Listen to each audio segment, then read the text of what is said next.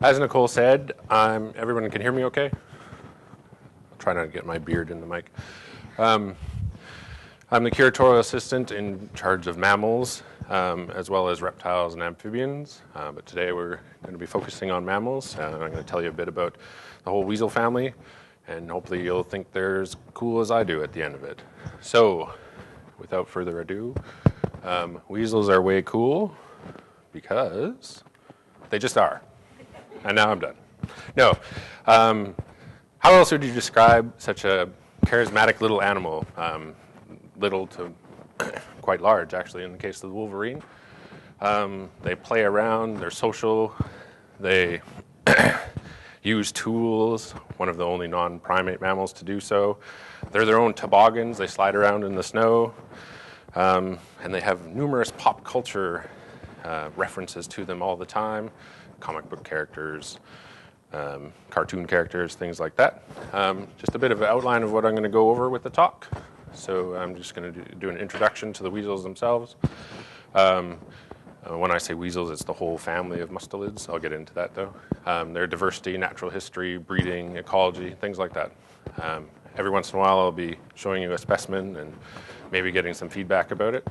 Um, but don't feel like you have to participate. I'll just go on if it's too much.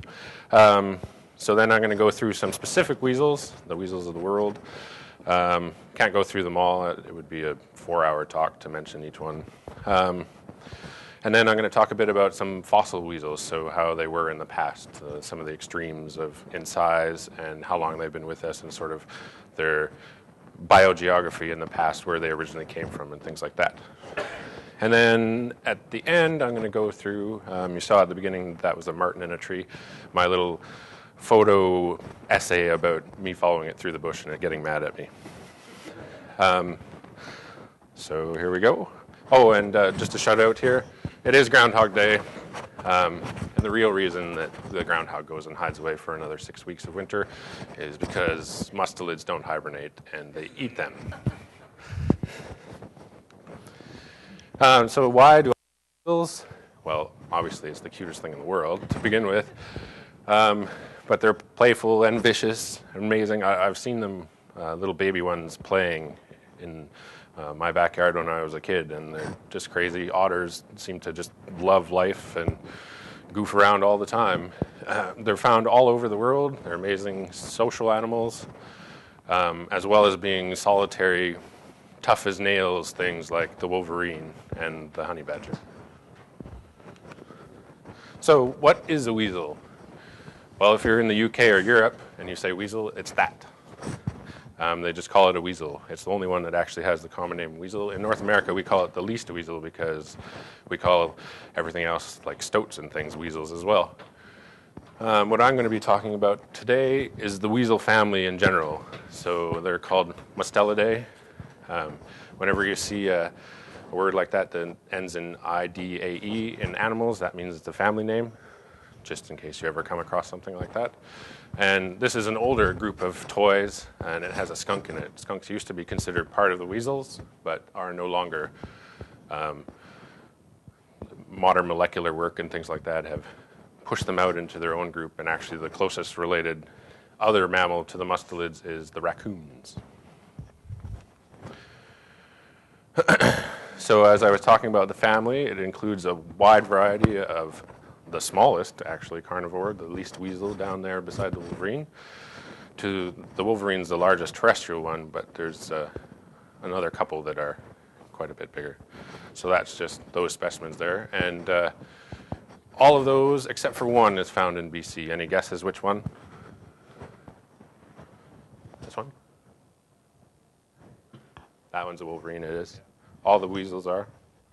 Marten is. Fisher. Badger although it's endangered in BC. The only one in that picture that uh, not found in BC is called the tayra, and it's from Central and South America.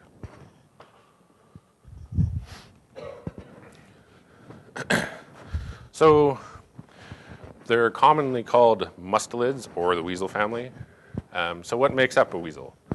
So it's this list of little categories, and of course there's exceptions to most of them, except for the five toes on each foot. Everyone has those.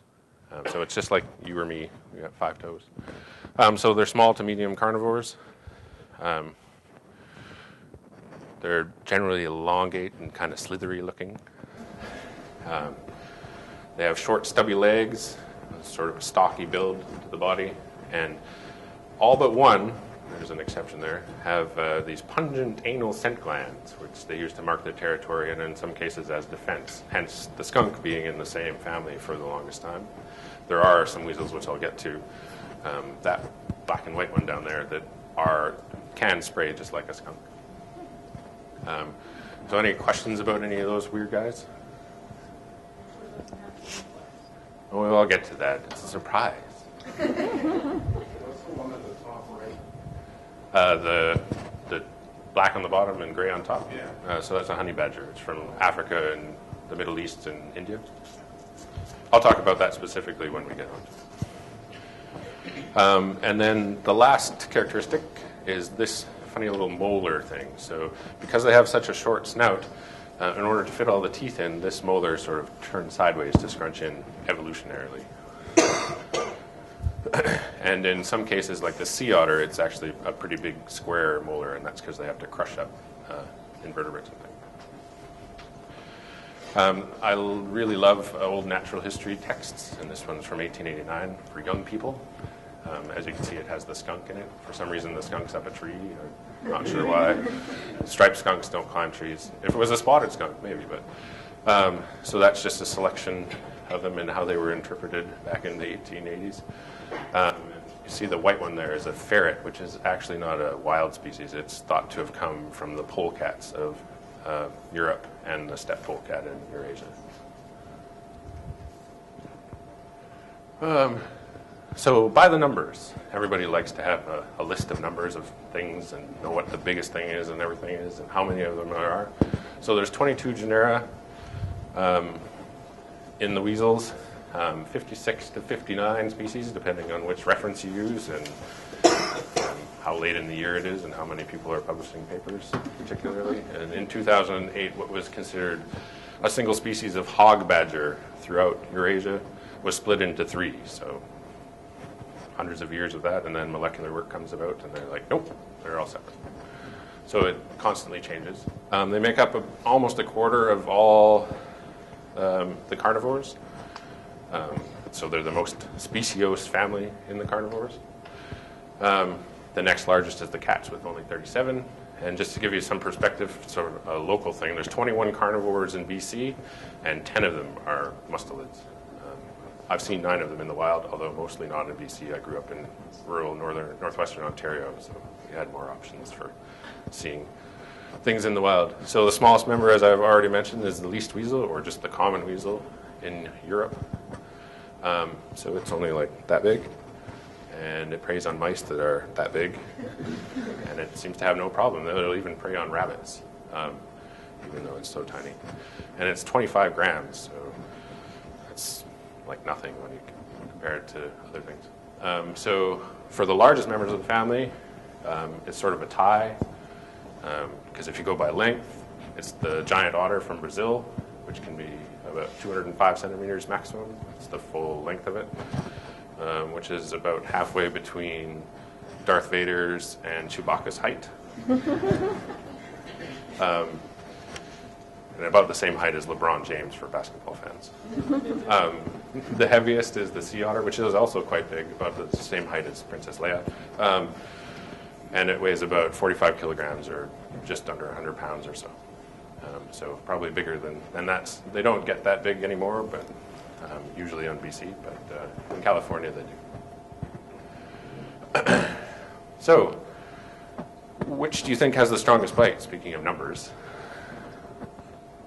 Now, obviously, it's going to be the Wolverine just from pure number of it because it'll be able to crush something so much bigger and it's so much huger. But if you um, make it with body mass as a factor, then the strongest bite uh, in the animal kingdom is actually the least weasel. So it's so tiny and it can go through the skull of a rabbit, no problem. So it's about 400 psi for the Wolverine and uh, something like 100 psi for the, the little tiny weasel, which when it's 100 times bigger, it factors out. Um, so that's all those skulls that are laid out there. Um, the way these are laid out is uh, females on the top and males on the bottom, so you get into the uh, sexual dimorphism in, in uh, the weasels. Um, it's really apparent in the Fisher skull, which is that one right there. The male has a huge sagittal crest, so it has stronger jaw muscles, and uh, the female is quite a bit smaller. Um, so some interesting, all-encompassing mustelid behaviors and characteristics. Um, they can be a little bit pregnant, which seems like a kind of a weird thing, but it's true. So they um, they have a fertilized embryo, and it just sort of floats around in the uterus for up to 11 months. Some some of them is shorter, some of them is longer, and that's so um, they mate in the summer or in the fall when they can find mates easily, and then they delay the implantation and the growth of the baby weasel until uh, conditions are better so it can have better food. Um, and uh, it's fairly common in uh, mustelids, about a third of them have this ability, and uh, in the rest of the mammals, it's only about 0.05% that that actually happens. There's like one deer that does it and a couple mice and things like that. It's kind of weird. Um, they have huge home ranges, um, especially the solitary ones like the honey badger or the wolverine here. So 2127 is the largest uh, male um, range that they found, and that was in Alaska. And to give you some perspective, that's about the same size as the entire lower mainland, and that's one male's territory. So it patrols the whole thing, overlaps with females, and uh, it seems they seem to be able to run about 40 kilometers in a day without slowing down. They've, they've tracked them. Um, just their trackway is just a, this continuous lope, they can just walk forever. Hence the uh, huge amount of stamina, and they don't seem to have any fatigue or take a rest until the end of the day or whenever they're traveling. It's just am- amazing, in my opinion. I can't even run 10k without falling over. Now, to get in, I didn't show any pictures here because it's kind of gross. Um, the darker Weasley side of weasels. So the whole weasel term, where it's somebody sneaky or something like that, comes from the weasel rather than it being a name given to the weasel because they were sneaky. It sort of reverses what you would think. So a lot of the mustelids have sort of this insatiable need to kill things. Um, there's been recorded things with otters where they've wiped out entire bird colonies, just and they don't even eat them. Um, but um, things like the least weasel and the smaller weasels will go into a mouse nest and kill everything and then go cache it. Um, so they do eventually eat it. It's just, um, and then mating isn't particularly pleasant for the female. They get bit on the neck, and it's particularly hard on um, mink farms and things like that um, where the female has nowhere to go, and there's uh, some can be deaths of the female and that sort of thing. And uh, females tend to have thicker skin on the back of their necks because that's really good. Um, but on a lighter note, they're notoriously clever and somehow get into things which makes killing everything a real problem for livestock and things like that. But it made for domesticating the polecat into the ferret and a fun pet nowadays, but uh, in medieval times and things, people would go on around with baskets of ferret, and you pay the guy, and he'd go into your barn and eliminate all the rats in a few hours because they just go crazy. Any questions so far? So here's a nice complicated uh, tree of all the mammals, and it's just to give you an idea of where the mustelids fit in, the blue arrow there. Um, and uh, this is a neat, there's lots of information on this diagram. You don't have to memorize it or anything, but you see where they relate to everything else. And uh, the carnivores sort of branched off from uh, about 50, 60 million years ago. And another super complicated cladogram. I really like them, but I'm a weird scientist, so um, this one has colors and all sorts of fun. So the red is uh, species that are found in the Old World, and the blue is New World species. Um, until recently, there were two subfamilies only two of this very diverse uh, group of animals. Um, there were otters and everything else. Um, modern molecular techniques, however, have divided them up into eight different subfamilies. Um, and you can see the common names on the side, and I'll get to a more simplified version of that. Um, I have some fake weasels here. So it looks a lot like a weasel in the weasel family. This is actually a mongoose. And just to add confusion, this is an otter civet. So even though it's named for the mustelids, it's uh, not even closely related. And this is a palm civet. So all of these are more closely related to cats, um, whereas the weasels are closely related to dogs. So there's two major groups of carnivores, um, the feliforms and the caniforms, so dogs and cats. So even the whole carnivora is divided up into cat people and dog people. um, all the different colors here uh, sort of hint at the complicated history of uh, mustelids moving around the world. So they've colonized North America multiple times, whether it's by rafts, otters coming across from Africa and things like that. Um, and it's constantly changing. Every time they find a new fossil, they put it into a new program to make a new tree, and it comes out in a weird place. So it just, like I said, constantly changes, especially with such a large group of carnivores. Um, and here's the, the less complicated tree, so you just get the common names. And I've sort of just listed the, the subfamilies and what it includes. I won't go through them. If you want to come down and look at them later. We have most of them in the collection, the, the weird striped weasels and things we don't. so a bit about uh, the range. As I said, they're found all over the world. So the map in the background is uh, sort of a heat map of uh, the hotspots of diversity. So the darker blue is where there's more diversity of, and more numbers of um, mustelids. so a bit about the ecology. Um, being carnivores, they eat mostly animals, anything from insects to moose. Usually it's um, eating a moose as carrion, but there are a few documented cases of wolverines taking on a full-grown moose.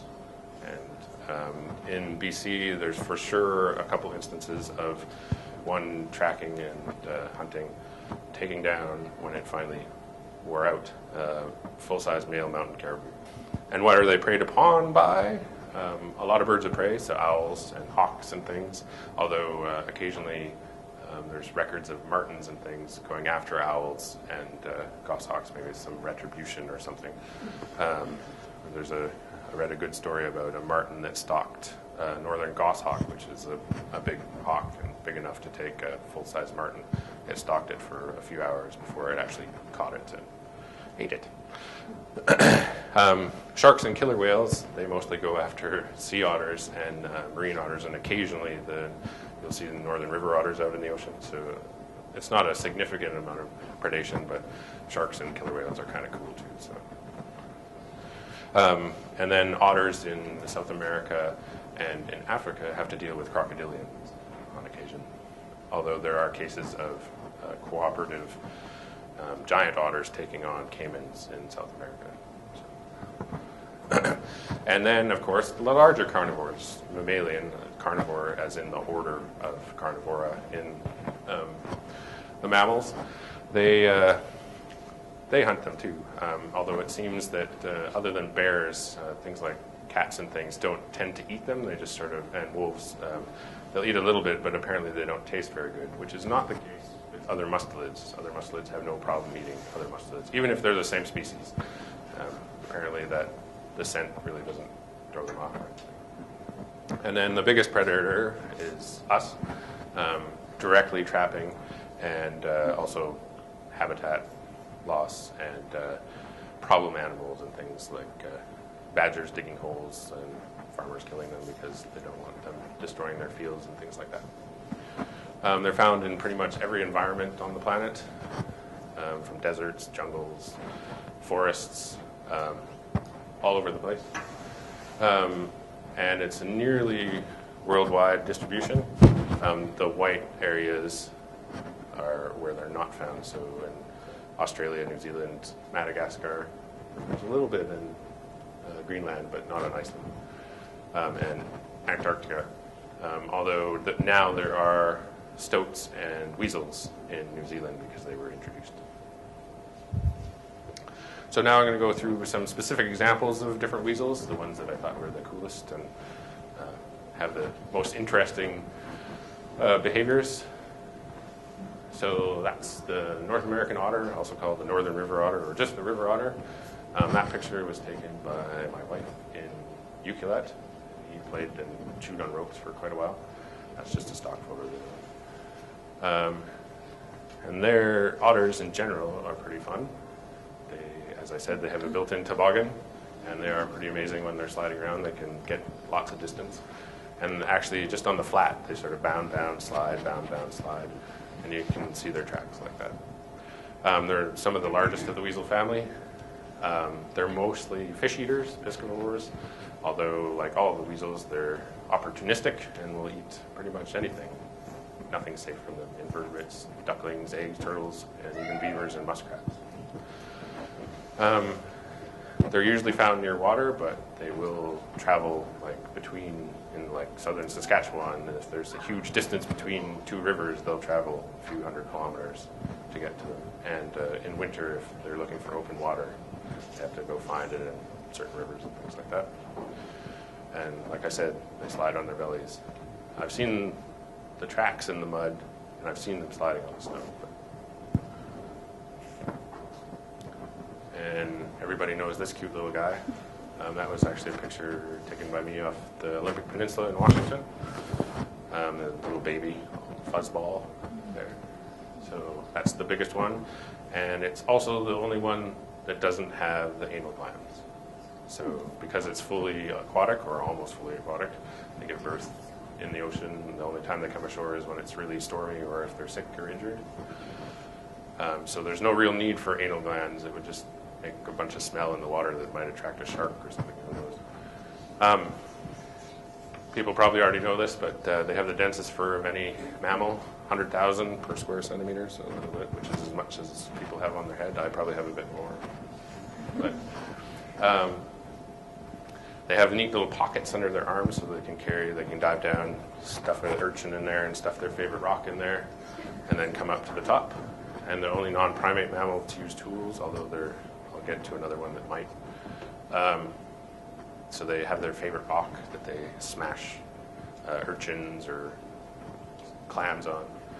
Um, and there's a documented case of them in Monterey Bay, California, of uh, collecting cans off the bottom because little baby octopus like to hide in containers like that. So, and then they'll put them back down on the ground and wait for them, and uh, the next day come down and pop another octopus out of it. So that's actually how they uh, fish for octopus in the Mediterranean. They have lines of pots, so it's a similar thing. Plus, they're really cute. Um, so this guy is the stoat or ermine or short-tailed weasel. Uh, ermine usually refers to it when it has a white coat, so that's uh, in wintertime. In the northern ranges, both it, the least weasel, and the long-tailed weasel change to white, um, the stoat, and the long-tailed weasel maintain a little black dot on the tip of their tail, which is thought to help them avoid predators, because the predator goes slightly more for the tail, and it's far enough away so that the owl or the hawk will miss and it gives them a bit of an advantage. The least weasel, because its tail is only like that long, um, it doesn't have the black dot because it wouldn't help it very much. Um, like I was saying, they're big enough to uh, overpower a full-size European rabbit, which can be 10 times their weight. Um, and there's actually two uh, BBC documentaries of David Attenborough where he uh, has a full chase scene. So Life of Mammals from 2003 and Life from 2011, they both have variations on that. It's kind of brutal, but um, cool that it can just run down a, a, rabbit. The rabbit's way faster than it at the beginning, but it just keeps going and bounding. It's like the tortoise and the hare kind of thing. Um, and these are the skunk-like ones. They can spray. Um, they're in Africa and Asia. Um, they have a cool name, the Zorilla that one up there. and uh, they certainly look like skunks and act like skunks, but they're not skunks. Now, for my favorite group is the Martens and fishers, which the wolverine is also a part of, but I'll treat that separately. Um, so both of these guys depend on uh, not necessarily old growth, but at least mature growth forests, and they're semi-arboreal, so they run through the trees to catch things. Uh, martens usually go after birds and red squirrels and things, um, and fishers go after those as well as martens on occasion. And they are, even though they're quite a bit bigger, they're quite a bit faster in the trees. um, fishers also have a renowned ability to one of the few things that seek out and hunt porcupines. You can see from his face there, he's had a little bit of a run-in with one. It's uh, it takes a long time. They uh, basically run around in circles and bite its face until it's subdued, and uh, then move in. And then it's a meal for a week for them because it's just so much bigger.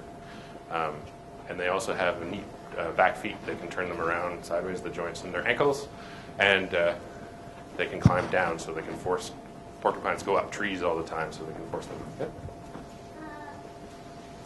My dog does the same thing with me that they, that uh, Fisher they get. They catch the porcupine. Oh, yeah? That's You've- how I got that little um, dot on my nose. Oh, and as a side note, uh, a group of Marten is called a richesse.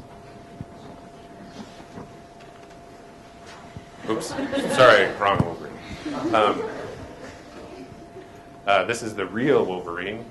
Um, it doesn't have adamantium claws or super mutant healing, although it probably heals fairly well. Um, but it does have super senses. It has a great nose. It's a scavenger, so it has to be able to sense uh, dead things from a long ways away. They're not exactly sure how far, but um, it has some amazing legends associated with it, scaring off bears and things. They're probably somewhat exaggerated, uh, although there are documented cases of it happening on occasion.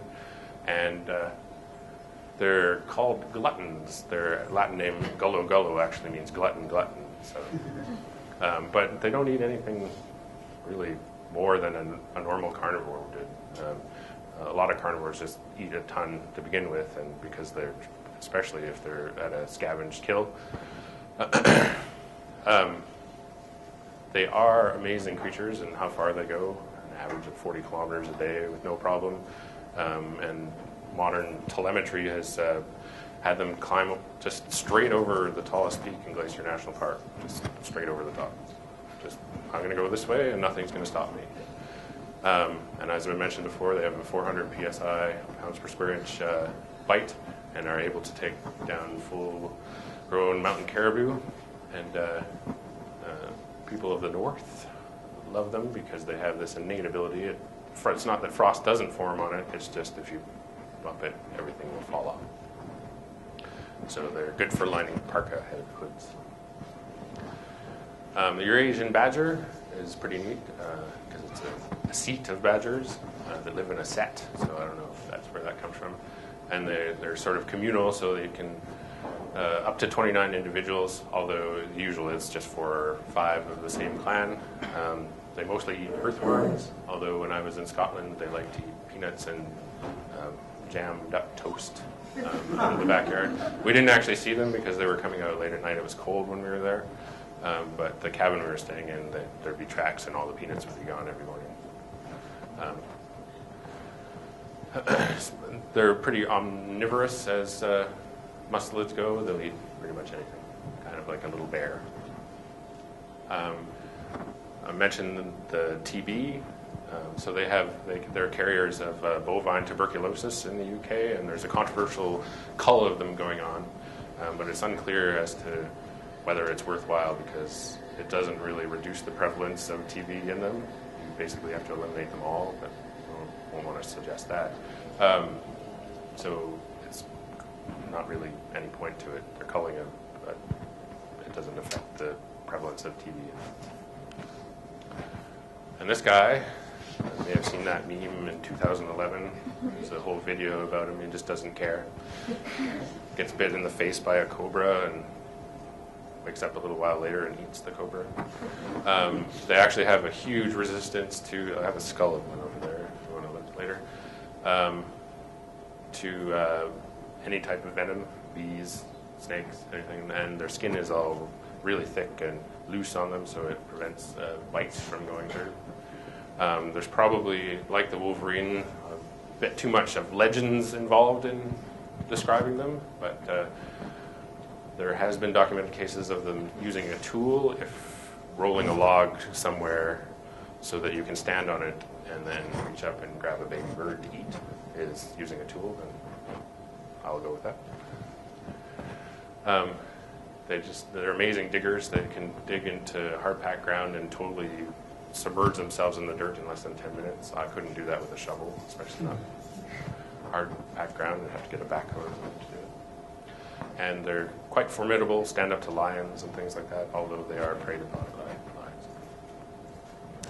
And the last one that I'm going to do is the most primitive of the mustelids. So it came over from Eurasia probably about 30 million years ago to North America. Um, it's most primitive, and it was the first branch off the tree of uh, the mustelids. Um, they're pretty neat. I've seen them in Saskatchewan. They look like a, a floating carpet mat of funny colored hair because you can't see their legs and their hair kind of splays out. They're flat. Um, they are in British Columbia, but they're pretty rare. Um, they too are great diggers, and they go after um, voles and things that are underground. And they partner up with coyotes, and it's unclear whether there's actual benefit for the badger. There's a benefit for the coyote because as it's digging down, it scares away things for the coyote to eat, but it's not clear whether the coyote keeps things underground so that the badger also gets more things. Now we're going to move on to some fossil mustelids. So down in the corner is a reconstruction. It just looks like somebody put longer legs on a CG version of a wolverine. Of Ekorus, that's the genus name. Um, it was about the size of a leopard or jaguar. Um, in the fossil record, there's about 84 genera and about a, a few hundred species um, that they found. Um, and these are two of the biggest ones. Um, if you look at that scale bar on the skull, so that's just the nose of it, um, that's 10 centimeters. So if you compare it to our modern otter, that's about 10 centimeters there. So its entire head skull could fit in the front portion of that mouth. So it was about three or four times the size of it. So bigger than me.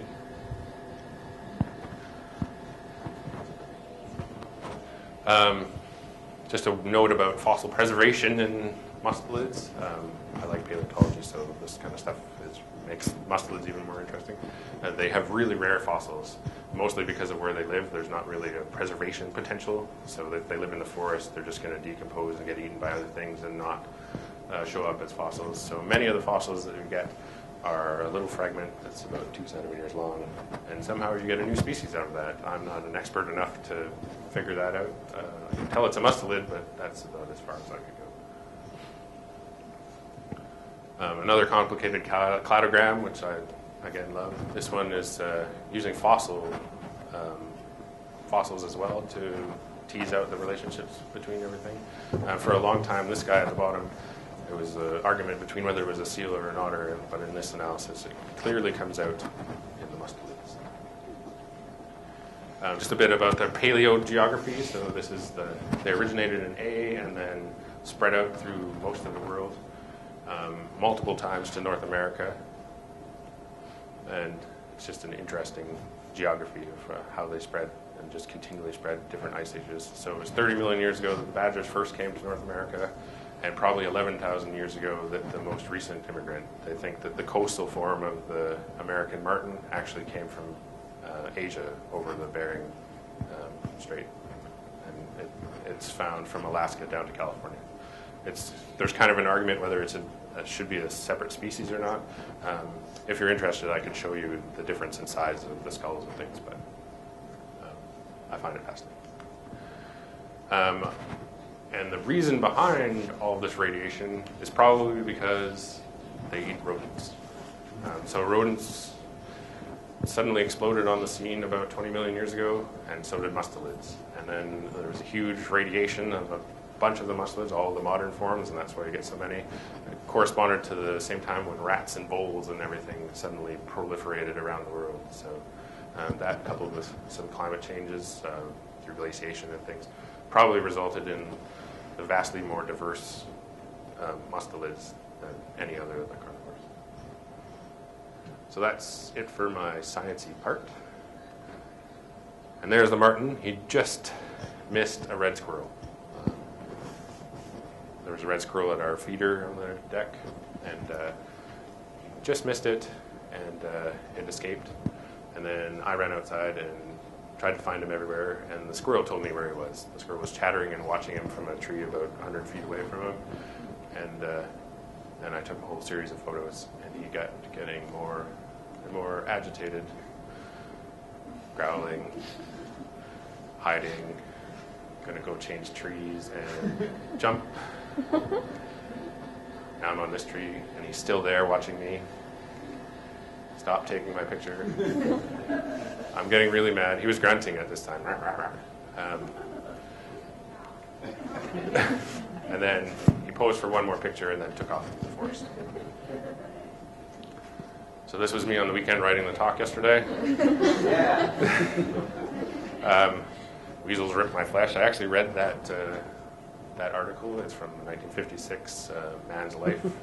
Um, it's kind of interesting. It's about this guy who's guarding his duck hut and uh, with a shotgun. And uh, it was just after he was in Connecticut. It was just after hurricane had come through, so they didn't have power back in I think it was '53.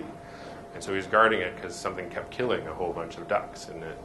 And uh, then he was falling asleep with the shotgun on his lap, and then he saw the weasels in the rafters, and he shot one, and then a bunch of them attacked his feet. I don't know how true it is. This is just what I read.